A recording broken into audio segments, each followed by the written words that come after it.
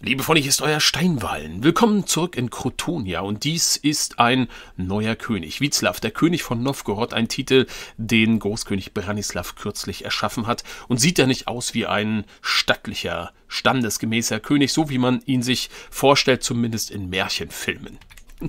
Ja, erstaunlicherweise ist König Witzlav sogar der mächtigste König von allen dreien, die wir haben. Wir haben noch einen König von Litauen und von Dänemark mit seinen 6300 Leuten. Das hängt damit zusammen, dass er, ich glaube, fast alle Grafschaften hier selbst kontrolliert, zumindest ein Großteil. Ja, und das gibt ihm natürlich ordentlich Macht. Wir haben den neuen dänischen König, ähm, der übrigens auch ein Kutoi ist. Das habe ich das letzte Mal gar nicht erwähnt, von göttlichem Blut.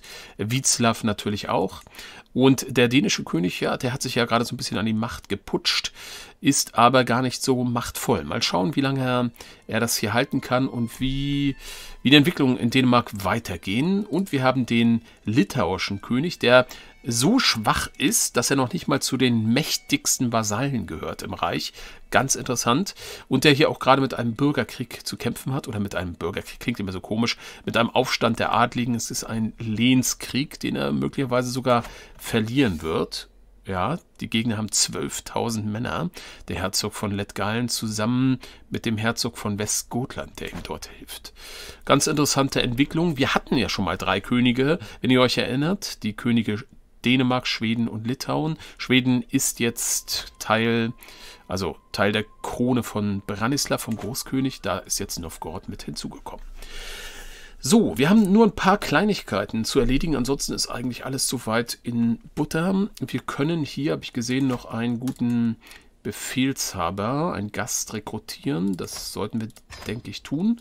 Und außerdem äh, sollten wir im Rat die Aufgabe hier verändern, der, der Ratsmarschallin auf Befehlshaber ausbilden. Die Zahl der Truppen ist jetzt nicht mehr ganz so entscheidend. Vielleicht jetzt ein Wort zum Ausbau des Landes. Ich werde mit Branislav weitestgehend darauf verzichten, überhaupt großartig zu investieren, weil einfach seine Verwaltungswert ist so schlecht, dass ich mir eben gerade im Zusammenhang mit seiner Unersättlichkeit und seiner Großzügigkeit einfach vorstellen kann, dass er alles Geld irgendwie anders verprasst. Wir werden also versuchen, das Geld anderweitig auszugeben. Ich werde es nicht horten. Ähm, aber ein paar Punkten, denke ich, ähm, ist ein Ausbau auch rollenspielerisch sinnvoll. Hier haben wir das ja schon gemacht mit dem Sommerpalast. Es gibt noch zwei ähm, Orte, wo mir das auch noch sinnvoll erscheint. Und zwar haben wir hier so eine Jagd. Ne, wo haben wir das jetzt? Ich muss das mal finden. Äh, so Jagd. Schlösser, Jagdgründe, die wir entwickeln können. Hier haben wir das, genau. Äh, Jagdreviere. Das finde ich ganz passend. Ähm, da können wir hier das weiterentwickeln auf die Jagdtürme, weil das macht er ja gerne. Und hier in Lexand ist überhaupt noch gar nichts ausgebaut. Das ist, glaube ich, auch eine neue Dom Domäne, die hier geschaffen wurde. Hier werden wir einfach auch die Jagdreviere noch dazu errichten. Das ist das Einzige, was ich mir für ihn vorstellen kann. Okay. Soweit, so gut. Ansonsten lassen wir einfach mal weiterlaufen. Vielleicht noch ein Hinweis. Im Moment sieht es innenpolitisch sehr stabil aus. Das hängt aber damit zusammen, dass die ganzen Vasallen, die das letzte Mal aufmüpfig waren, noch bis ja, bis 1304 keine Fraktion beitreten dürfen. Das ist noch ein Jahr. Danach könnte es wieder ein bisschen rund gehen. Aber wir schauen mal. So, Ablass bekommen wir. Es gibt einen Bauernaufstand gegen den König von Novgorod. Kann ich mir nicht vorstellen, dass das gefährlich werden kann für ihn. Nein. Ich glaube, da brauchen wir uns keine Gedanken machen. Ähm, eine Dame mit Anspruch ist zu uns gekommen. Das interessiert aber unseren König nicht. Wir nehmen weitere 100 Gold. So. Der Herzog von Guoladat wird angegriffen. Vom Graf von Moku. Das ist aber jenseits unseres Reiches, ne? Ja, genau.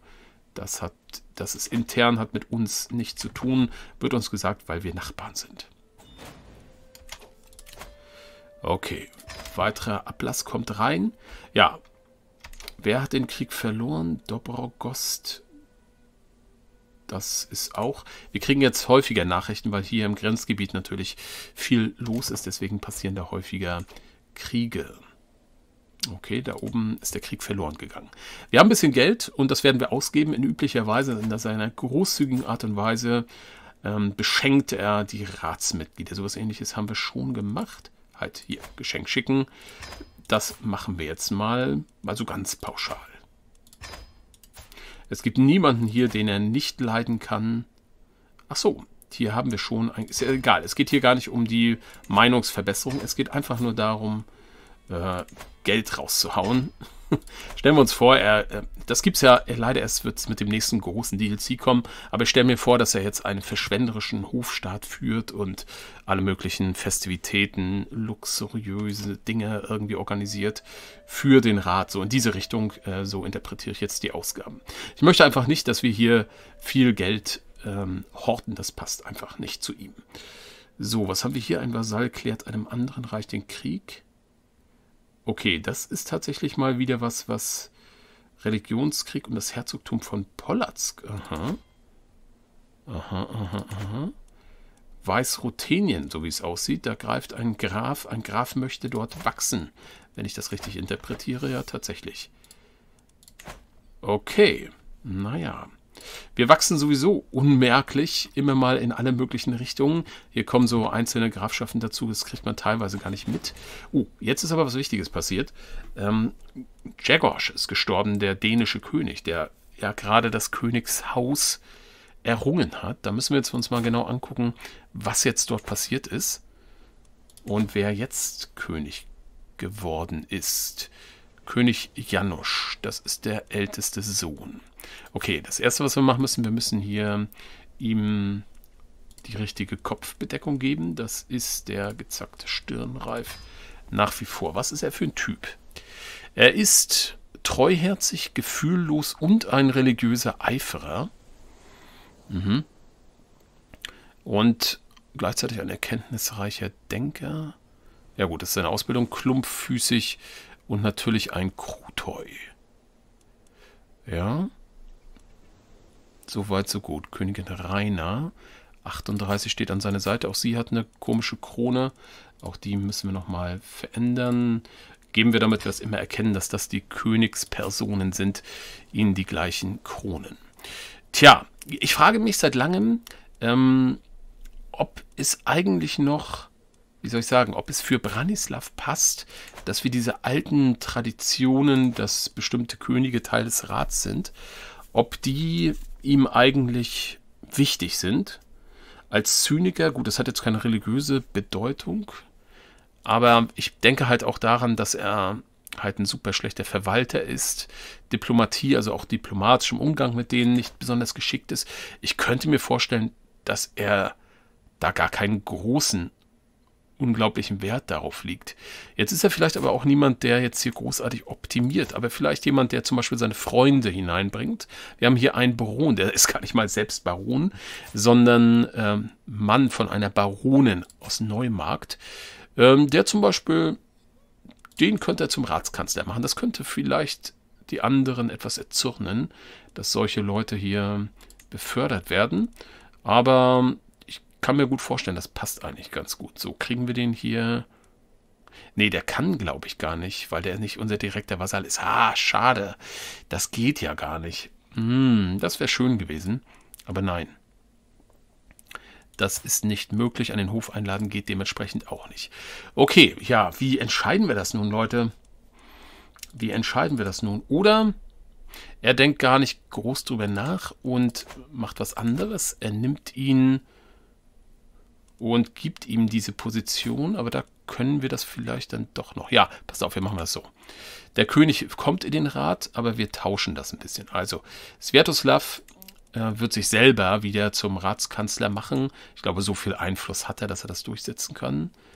Neu zuweisen und dann wird dieser König eben, der den neue dänische König, wird dann hier unser. Wo ist er denn jetzt hier? Ah, nee, warte mal, jetzt habe ich geguckt. Bildung, das war jetzt ein Fehler von mir. Aber zum Ratspräsiger werden wir ihn auch nicht machen können, ne? Egal, der wird dann einfach ähm, Ratsspitzel, auch wenn er untalentiert ist. Ich glaube, das ist auch so ein bisschen jetzt eine Konsequenz, eine Folge aus daraus, dass er nicht wirklich innenpolitisch versiert ist. So, ein Befehlshaber wurde nebenbei verbessert. Hervorragend. Galizien-Wolinien wurde angegriffen durch einen Bauernaufstand. Und der nächste Ablass trudelt rein. Kasimir hat eine Aufgabe abgebrochen. Aha, warum? Was ist da los?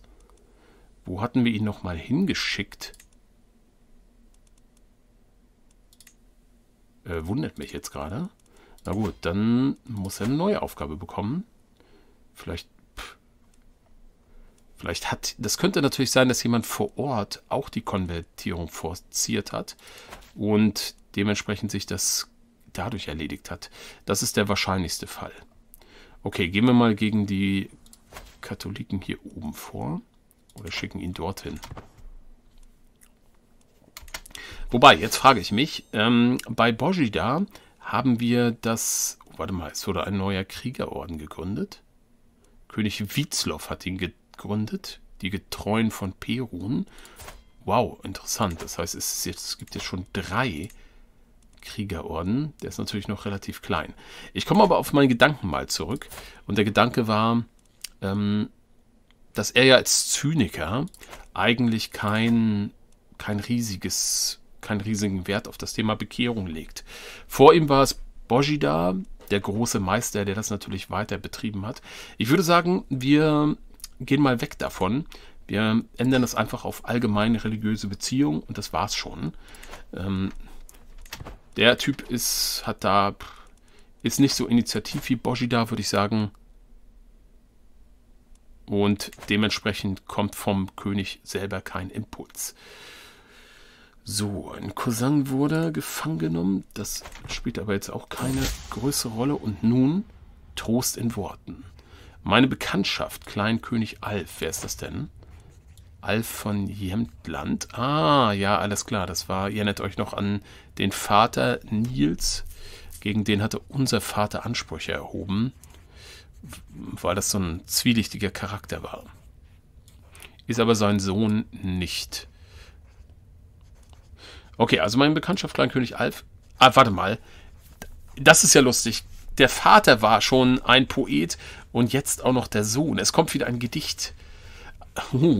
Okay, es behandelt traurige Gefühle des Verlusts und Alf hat es öffentlich mir gewidmet. Einsame Gräber im Herbst. Welch grausamer Herr der Zufall doch ist, ein so schöner Tanz den alle Welt nun vermisst. Wenn jemand Großes so tief fällt, sind des Schicksals Kapriolen nicht das Groteskeste auf der Welt. Bislang habe ich meine Gedanken für mich behalten, doch das Gerät ist zu drängend geworden, als dass ich es noch ignorieren könnte. Tja, wie reagieren wir darauf? Also, wir haben zwar bestimmten, bestimmtes Verständnis von der Welt durch durch unsere Ausbildung, Bildung, durch unsere Erziehung, die wir erhalten haben. Aber ich glaube, Poesie geht ein Stück weit zu weit für Großkönig Branislav. So würde ich das einschätzen. Insofern reagiere ich mal einfach mit Pft, Gefasel. Das passt am besten. Okay. So. Das Ganze gilt als Demütigung, interessanterweise.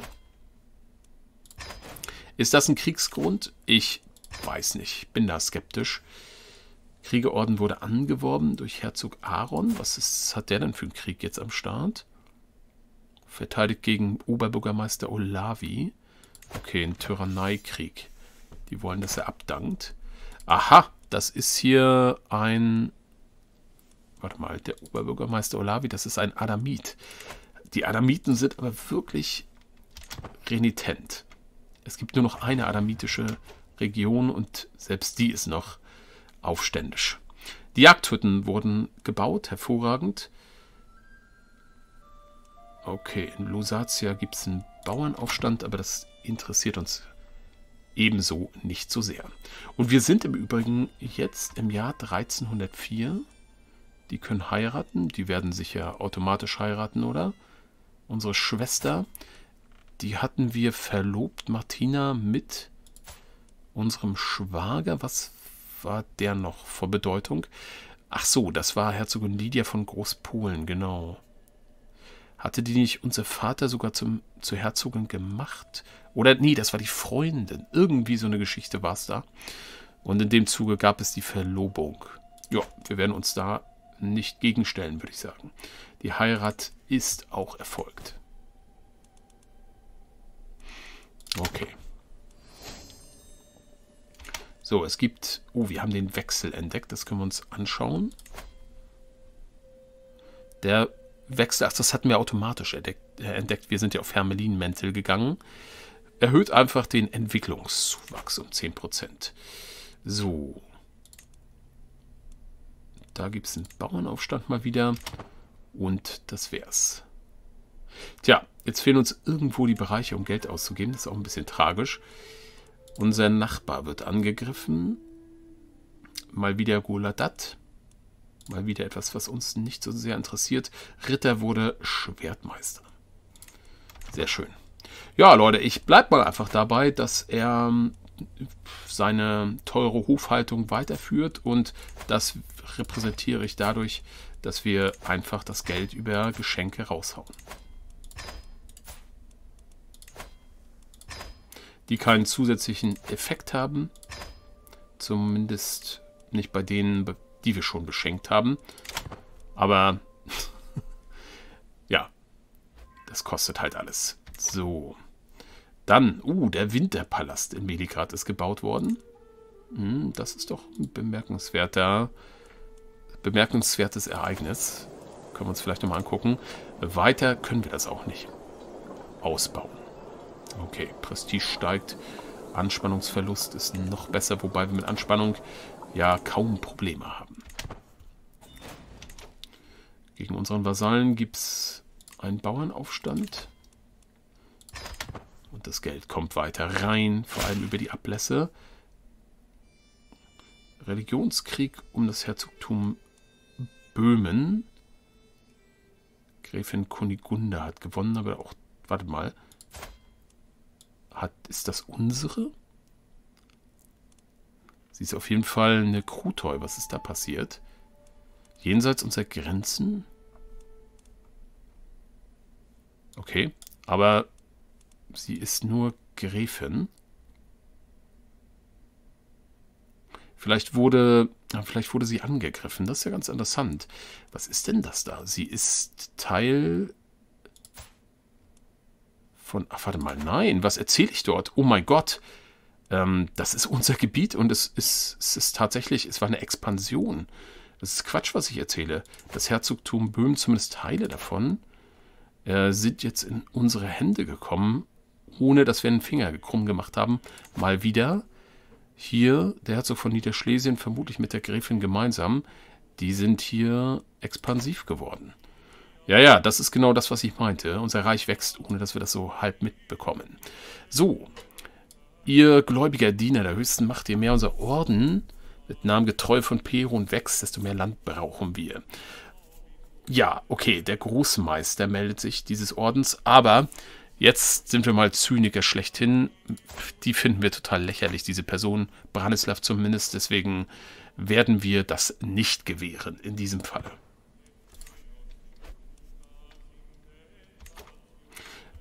Okay. So, was mich jetzt mal interessiert. Gut, also die ganzen Vasallen, die könnten Fraktionen bilden, tun sie aber offenbar nicht. Das sind alles nur Einzelregionen.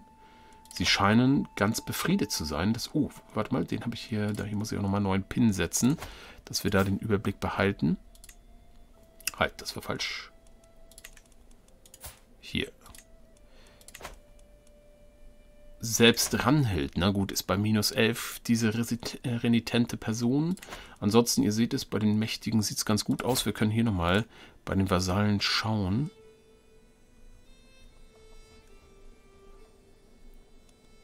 Das ist nur eine Gräfin. Ein Baron. Hm. Also, offenbar erfreut er sich, ohne dass er groß was getan hat, ähm, vermehrt einer Beliebtheit. Nun gut, je länger Zeit vergeht, umso mehr gewöhnen sich die Leute ja auch an einen neuen König. Und jetzt ist er schon 26 und regiert einige Jahre, da ist es schon nachvollziehbar.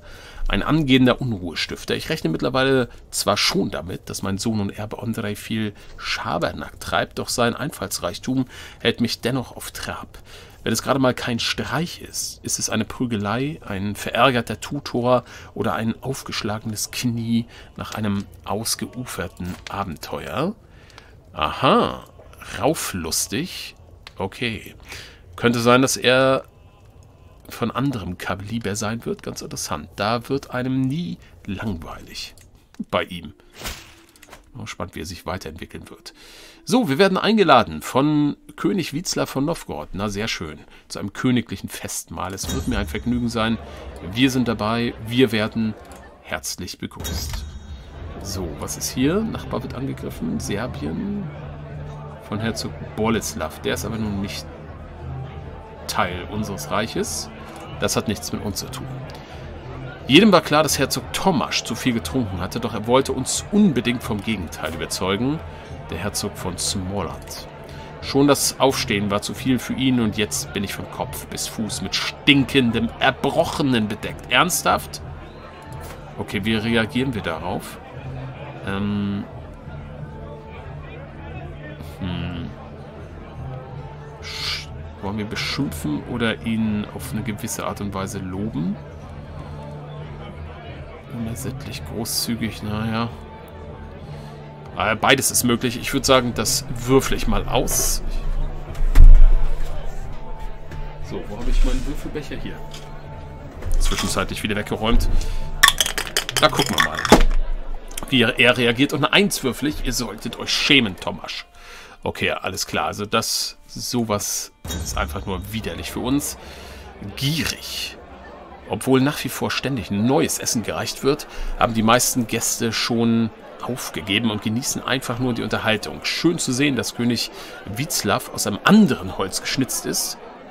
Und ich, er und ich sind erst fertig, wenn nichts mehr zu essen da ist. Hervorragend. Äh, was ist denn das hier? Punkt?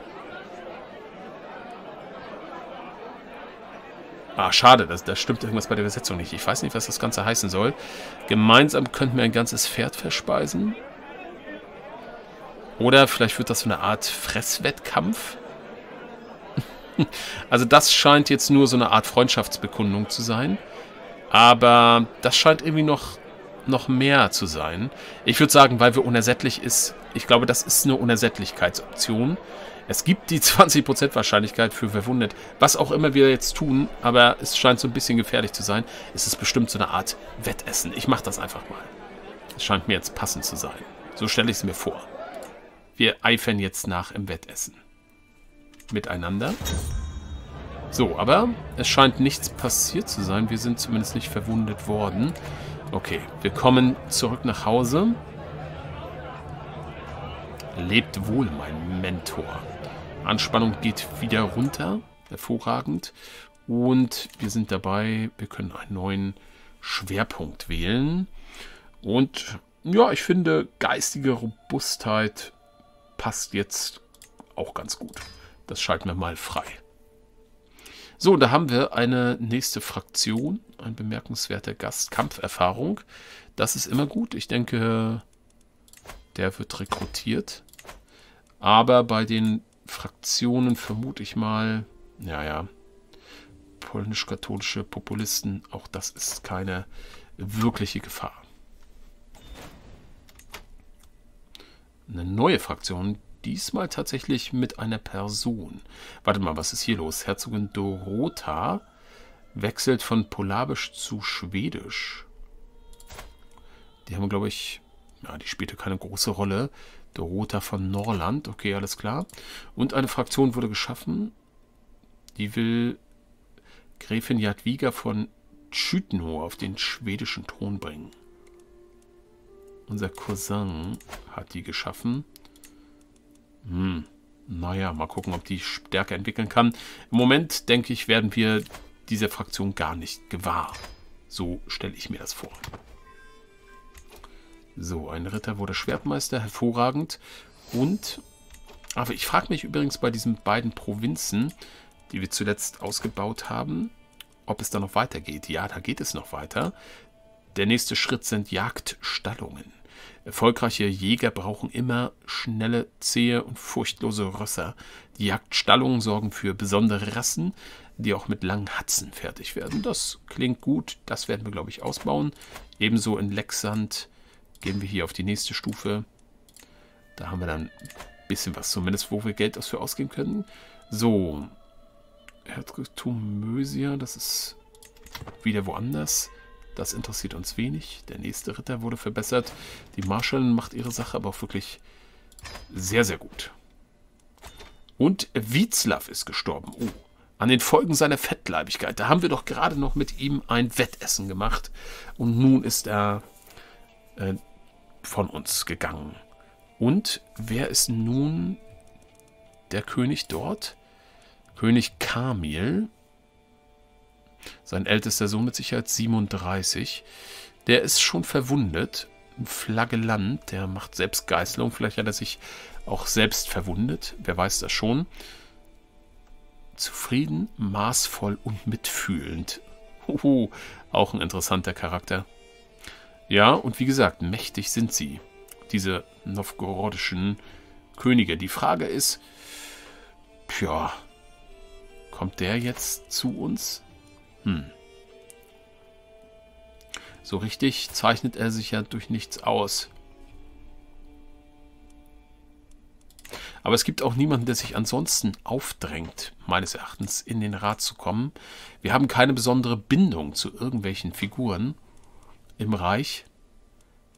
Branislav versteht sich mit allen so ein bisschen. Ich würde mal sagen, wir machen mal folgendes. Wir werden ja, wir werden König Janusz, den König von Dänemark, den werden wir jetzt zum Ratsverwalter machen. Und zum Ratsspitzel werden wir dafür diesen Kamil machen. So, da hat er ungefähre Eignung. Wir halten uns immer an die Könige. Das ist sozusagen der simple Leitspruch von Branislav, folgend aus der ersten Rebellion. Die Könige, denen können wir uns sicher sein.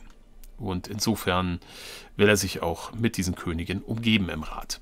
Also, es hat also jetzt gar keine traditionelle, keinen traditionellen Ursprung mehr, sondern so ein rein Gewohnheitsding und Erfahrungsding für Branislav. Okay, damit werden wir erstmal diese Folge beenden. Wir sind im Jahr 1306 und sehen uns wieder in der nächsten. Bis dahin macht's gut, euer Steinwallen.